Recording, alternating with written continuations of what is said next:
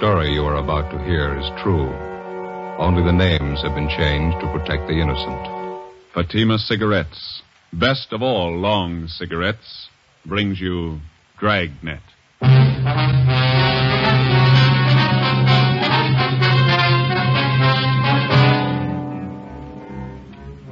You're a detective sergeant. You're assigned to a robbery detail. A holdup has been committed in a neighboring city. A bystander is shot to death. Two others are wounded. The bandits are ruthless, well armed. Your job? Get 'em. If you want a long cigarette, smoke the best of all long cigarettes. Smoke extra mild Fatima. Yes, Fatima is the king size cigarette which contains the finest Turkish and domestic tobaccos superbly blended to make it extra mild, to give Fatima a much different, much better flavor and aroma than any other long cigarette. That's why Fatima has more than doubled its smokers coast to coast. Enjoy extra mild Fatima yourself. Best of all, long cigarettes. It's wise to smoke extra mild Fatima. It's wise to smoke extra mild Fatima.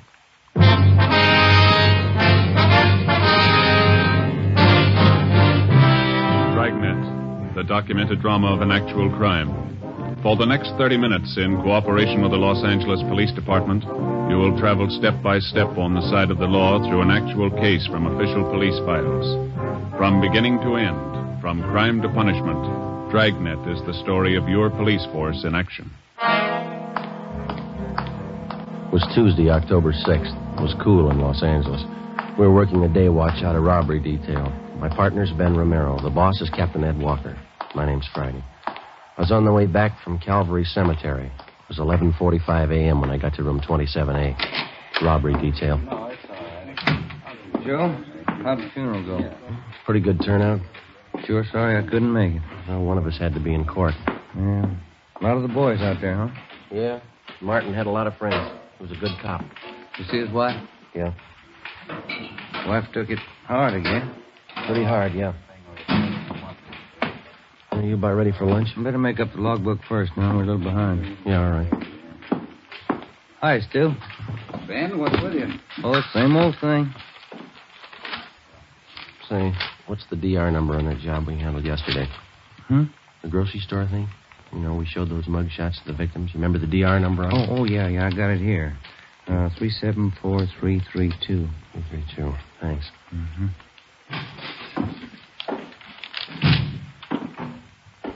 Yes, sir? My name's Frank Cheney. Just been paroled from Folsom. Can you tell me where I registered? Yeah. I'll get one of the men from the rehabilitation detail. He'll take care of it. Okay, thanks. Excuse me, Ben. Oh, yeah. Bossberg. Johnny Bossberg? Yeah. Got a minute? Something for you here. I'll be right there. Did you contact the witnesses in this report here? Let me see. This one. What do you got? Oh, yeah, yeah, I took I'll care over of at it. the desk once the register's next time. Hmm, okay. Excuse me, Romero. Yeah. hmm Hi, you want to register? Yeah, my name's Frank Cheney. Okay. Address? 218 Belgrade. Belgrade. Where you been? Folsom. Got out Saturday. Okay, what'd you fall for? Robbery, first degree. How much do you owe? Served 18 years. I'm on life parole. Life parole. Okay. Hey, Thaxter, you want to tell Rambo we're out for seven? Wait a couple minutes, huh? See the guy at the desk, the one with Bosberg? Yeah, he's an ex-con. Why? Frank Cheney, 1931. Jack Taylor and I had him. First big one we ever drew. That's so. Did you ever hear of him? Used to call him the gentleman bandit. Yeah, 1931, Claude. That's 18 years ago. Cheney was the biggest of them. Came from a wealthy family, too. Father's a millionaire. You sent him up, huh? San Quentin. Tried to break out with a partner. His partner killed a trustee. Cheney was sent to Folsom. From a millionaire family. That's a queer one. Yeah. Well, how about that lunch, fellas? Yeah, let's go. Seems like it could have been yesterday, 1931. We grow old right along with the thieves, huh? Where we go? Federal Cafe?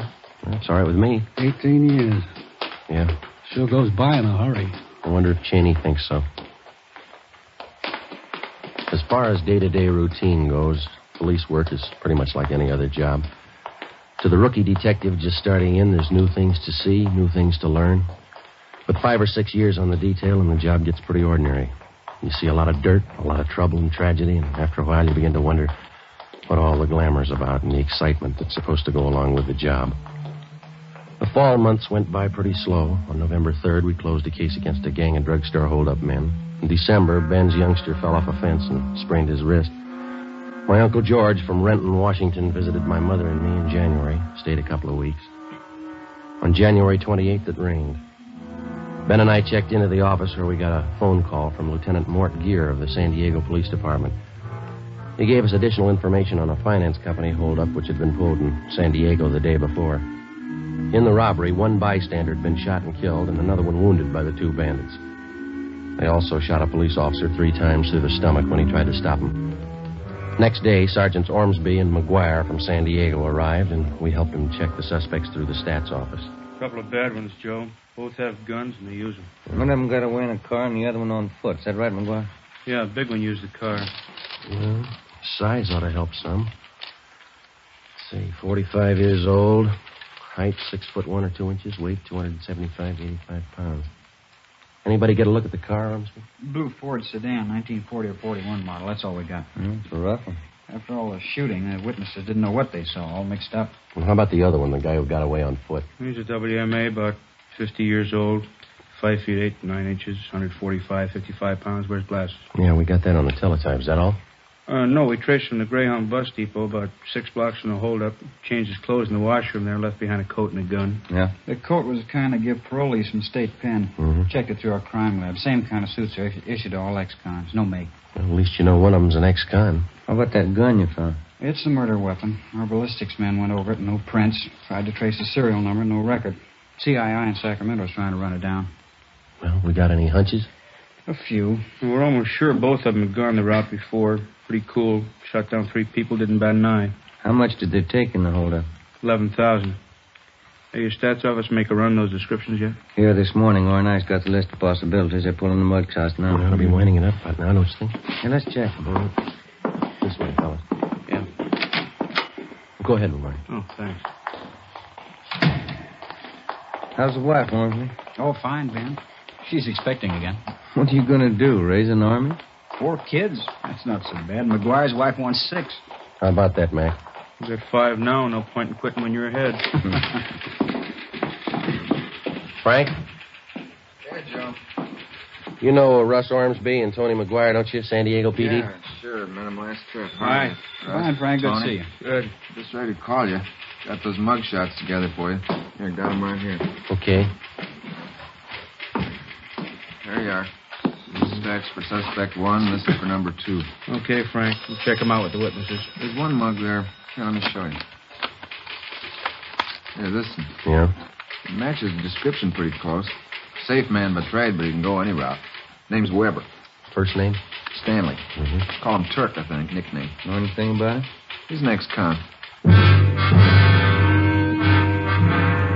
Ormsby and McGuire drove back to San Diego to show the mugshots to the holdup witnesses and see if they could get an identification. Late the next afternoon, they called back to tell us that Stanley Turk Weber had definitely been identified from his mugshot by four of the five witnesses as one of the holdup men. His partner remained unidentified. We called Turk Weber's parole officer, got all the available information on the suspect, including his latest address, an apartment house on North Alameda. Weber wasn't there. We talked with the apartment house manager, and he told us that Turk hadn't been seen there since the day before the San Diego robbery and murder.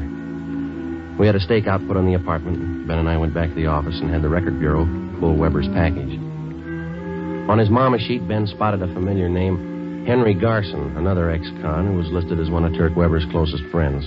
Well, we got a hold of Garson's parole officer. He told us Garson had had his parole transferred to San Diego, where he disappeared two weeks before he was wanted for violation of parole. We tried to check Weber through his relatives, but couldn't find any. But Henry Garson's report showed that he had a brother, Al, who ran a dry cleaning shop down in Seal Beach. He had no criminal record. The next morning, we drove down to see him. Yeah, Henry came around last July. It's the last time I saw him. I want to borrow my car. You got any idea where he might be now? No, You're his brother. I don't know where he is. That's the truth. I don't want to know where he is. Was anyone with him when he came to see you last?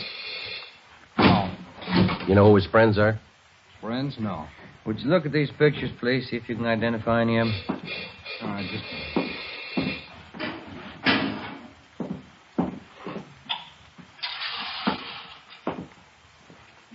No. These here. No. Mm. Ah. How about these?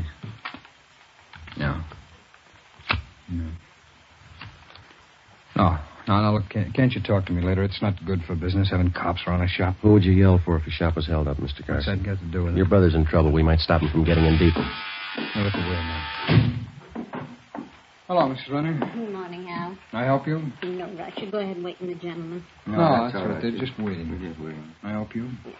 My husband's suit. Cleaned and pressed. Can you have it by Tuesday? Tuesday? Yeah, it'll be ready. My plaid jacket cleaned and pressed. Can, All right. can you soak this little stair here? Where? Yeah, yeah, we take care of that. Tuesday, all right. There you uh, are. Thanks, Miss Runner. All right, Al. Bye. Bye, Miss Runner. Thanks. I don't like to hold you up, Garson. Just a few more questions. All right. Now, you said the last time your brother was here, he wanted to borrow your car. Is that right? That's right. Did you let him have it? I let him have nothing. How about the rescue family? Oh, can't you let us alone? If Henry's in trouble, let him take care of it. We got troubles enough of our own. This is important, Garson. We've got to have your cooperation. Well, why me? No, Henry's no good. I admit it. He's still my brother. Yeah? You asked me to send him to jail? If he belongs there, yeah. Look, I don't want any trouble. There won't be any. My mother lives in Santa Barbara. Just moved there. I got the address. Henry goes to see her every once in a while. When's the last time you saw her? Two weeks ago, I was there, too, and something else. What's that? Henry had a gun. 11 a.m. Tuesday. Ben and I drove back to the office and put in a call to the Santa Barbara Police Department. We asked him to put a stake out on the home of Henry Garson's mother and to notify us the minute Garson was apprehended. We contacted San Diego and told him what we'd found out. After that, we doubled back on Turk Weber. From one of our informants, we heard that Weber and Garson had gone into some kind of a business together. For a bankroll, they'd succeeded in getting a loan from the Second National Bank out in Glendale. 1 p.m. We drove out and checked with the manager of the bank's loan department, Mr. Peabody. Here we are, officers. Stanley T. Weber, Henry Garson. Loan papers were signed over a month ago. What kind of a loan was it, Peabody? Business loan. Garson Weber came in with another man. They talked to our manager, Mr. Ascot. Excuse me. Yeah. What business are they in? Trucking concern. They wanted the money to buy equipment, more trucks. How much money did they borrow? $4,500, usual terms. I guess you inquired into their background. Oh, yes, their whole financial background. Did you know that Garson and Weber are both ex-convicts? I beg your pardon? I said, did you know that both of them are ex-convicts? You sure you haven't made a mistake? Henry Garson, Stanley T. Weber? Yeah, that's right. What'd they offer for collateral? Well, they had some of their equipment, two trucks, and then, of course, there was the cosigner. Who was that? The name's right here on the loan papers. Let's see. Right here. Cosigner Frank Cheney.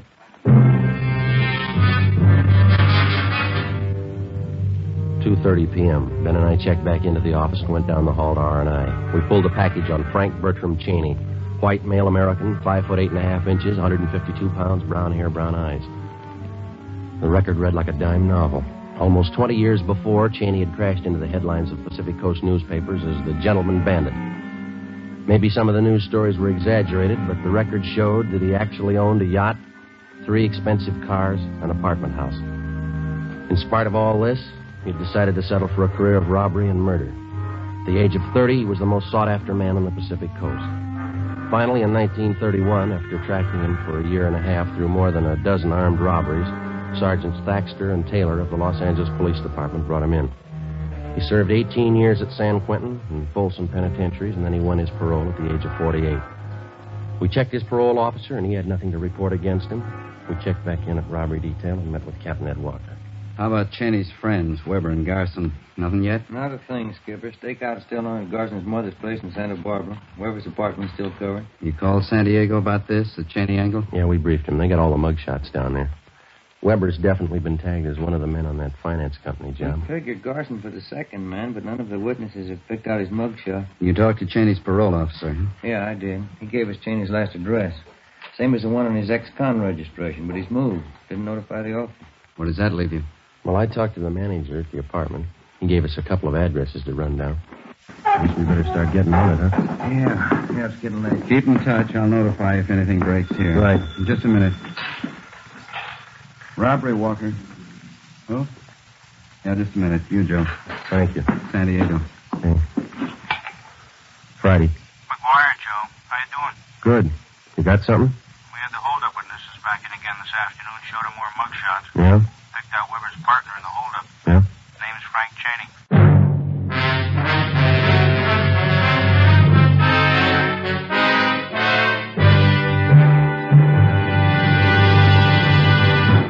listening to Dragnet, the case history of a police investigation presented in the public interest by Fatima Cigarettes. If you smoke a long cigarette, it will be in your interest to listen to a typical case history of a Fatima smoker. It's the case of Lee Silver, general assignment reporter on one of New York's greatest newspapers. You'll see his picture in leading magazines this week. And here is his actual signed statement. When you have to meet a news deadline, you work at a fast pace, smoke at a fast pace. That's why I smoke Fatima. They're extra mild. In my opinion, it's wise to smoke extra mild Fatima. And more and more smokers are discovering this every day. Actual figures show Fatima has more than doubled its smokers coast to coast. So enjoy extra mild Fatima yourself. The king size cigarette, which contains the finest Turkish and domestic tobaccos, superbly blended to make it extra mild. You will prefer Fatima's much different, much better flavor and aroma. You will agree. It's wise to smoke extra mild Fatima. It's wise to smoke extra mild Fatima. The best of all long cigarettes.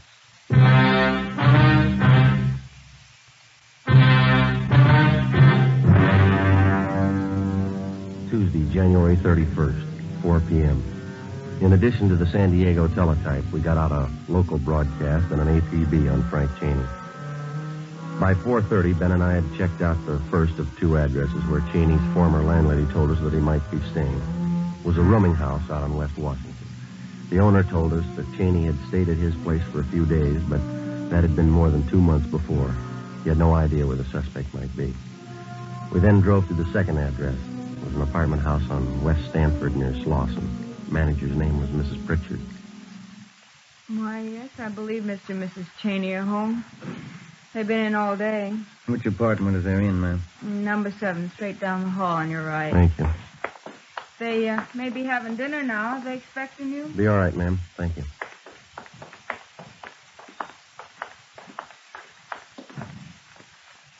Okay.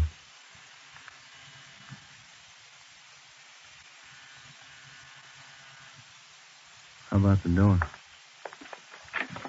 It's open. Come on. The apartment was deserted.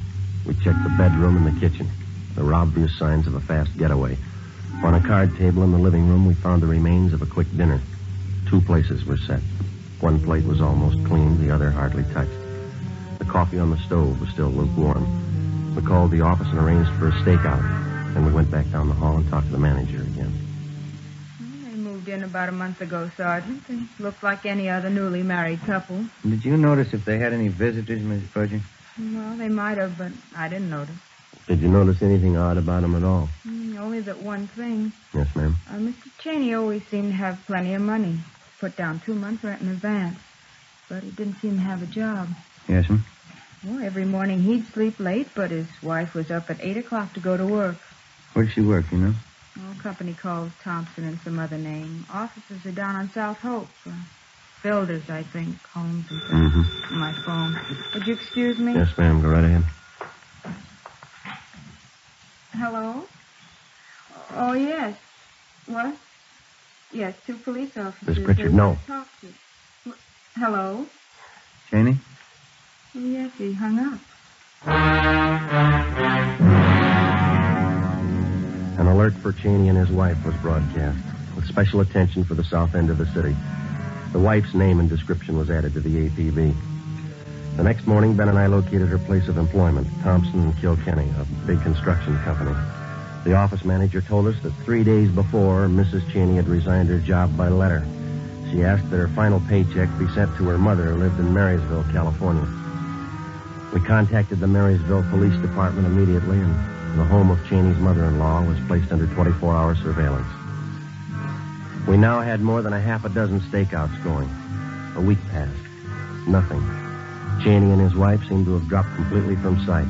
Wednesday, February 9th, we got a tip from the Santa Barbara police that Cheney's friend, Henry Garson, was in Los Angeles working in an auction house on Wilshire Boulevard. We ran it down. Looks like a high-class place. They got a nice crowd, haven't they? Mm-hmm. No, thanks. We'd like to see the manager, please. All right? Let me see. Oh, yes, over there by the claim desk. Uh, the man in the dark suit, Mr. Willis. Thank you, thank you. All right, now do I hear a bit? Uh, Mr. Willie? Yeah? Police officer, sir. We'd like to check on a man who's supposed to be one of your employees, sir. Oh, that's so? What's his name? Um, here's his picture. Can you identify? Why, yes, it's Johnson, the new clerk. You want to talk to him? Yes, sir. All right. Right this way. He's back in the storeroom. Some kind of trouble? We'd like to talk to him. Yes, all right. Let's see. Oh, yes, there he is. Uh, Johnson. Oh, Johnson, would you come Come on, Ben. What are you running for? Johnson, come here. Off the back. There he goes. He's heading up the street. Come on. He got on that bus. All right, come on. Let's double back to the car. Yep. Hurry. Did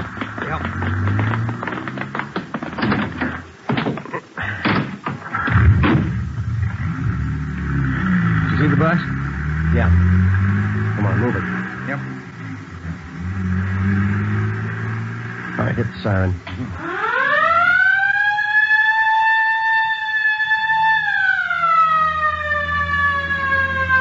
All right, that did it. The driver's pulling over. Pull up behind the bus there, huh?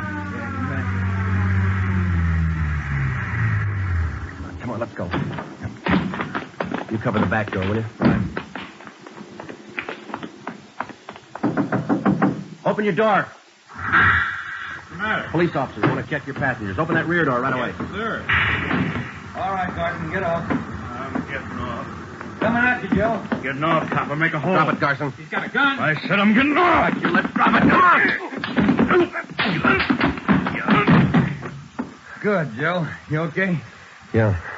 Let's get him off of here. What's it all about? He do something wrong? Yeah, he didn't get off when we asked him to.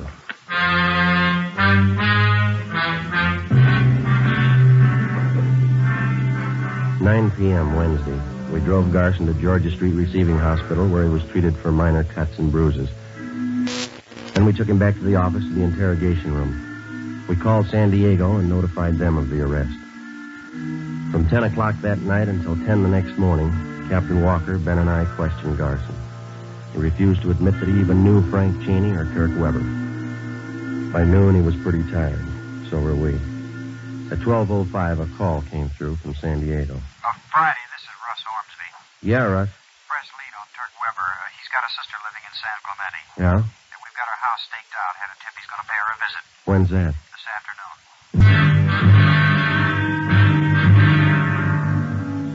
3.15 p.m.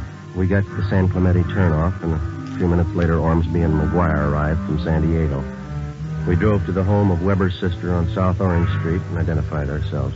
She told us that Turk had been there that morning, but that he'd gone to the races at Del Mar for the afternoon. Did your brother say he was coming back? Said he might be back. He wasn't sure. Did he go to the racetrack alone? Yeah? Was he going to meet anyone there? I don't think so. He didn't mention it. You driving a car? No, he took the bus to the track. I see.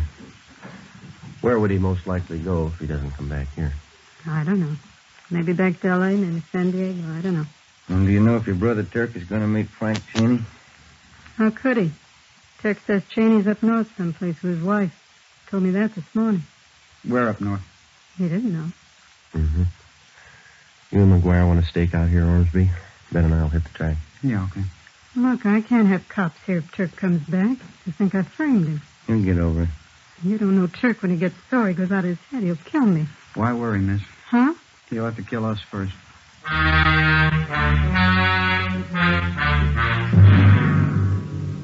Three forty-five p.m. Ben and I left Weber's sister's house and drove down to the racetrack at Del Mar.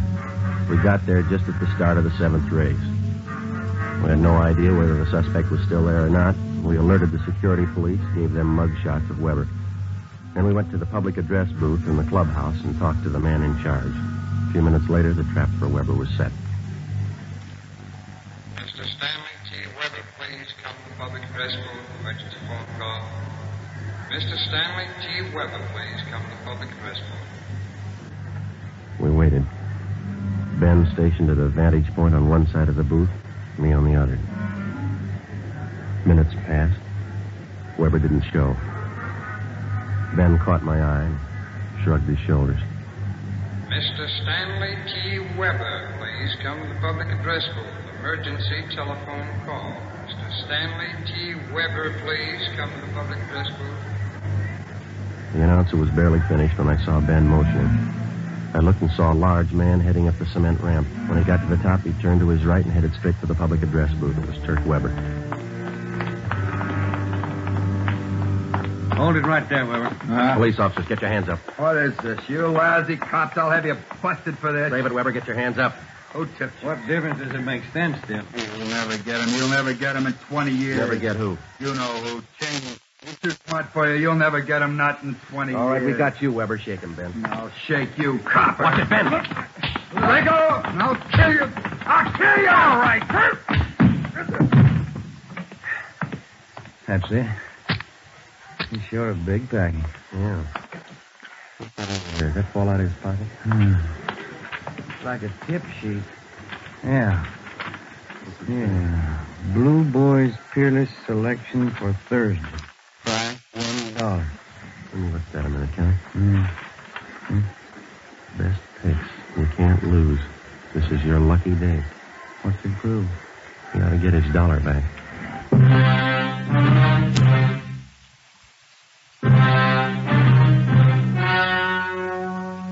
The story you have just heard was true. Only the names were changed to protect the innocent. On June 19th, trial was held in Superior Court, City and County of San Diego, State of California. In a moment, the results of that trial. It's amazing how many long cigarette smokers are changing to extra mild Fatima. Here is the actual report. From coast to coast, extra mild Fatima has more than doubled its smokers. Yes, more and more smokers every day are discovering that Fatima is the king size cigarette that is extra mild. Extra mild because it contains the finest Turkish and domestic tobaccos superbly blended to make it extra mild, to give it a much different, much better flavor and aroma. Enjoy extra mild Fatima yourself. Best of all long cigarettes. It's wise to smoke extra mild Fatima. It's wise to smoke extra mild Fatima.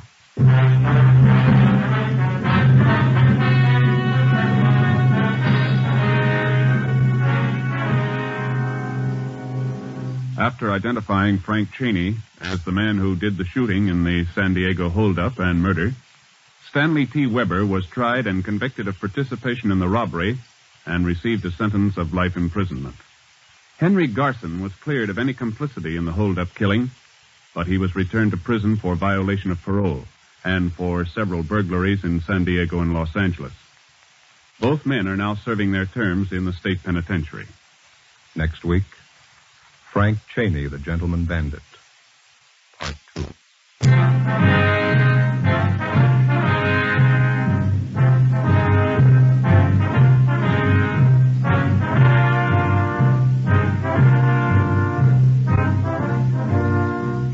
Have just heard Dragnet, a series of authentic cases from official files. Technical advice for Dragnet comes from the Office of Chief of Police W.A. Worton, Los Angeles Police Department.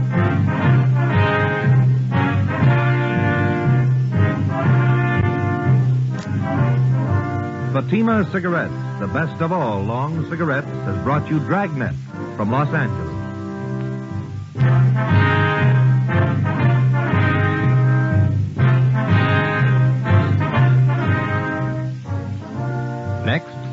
Private Caper with comedian Sara Berner on NBC.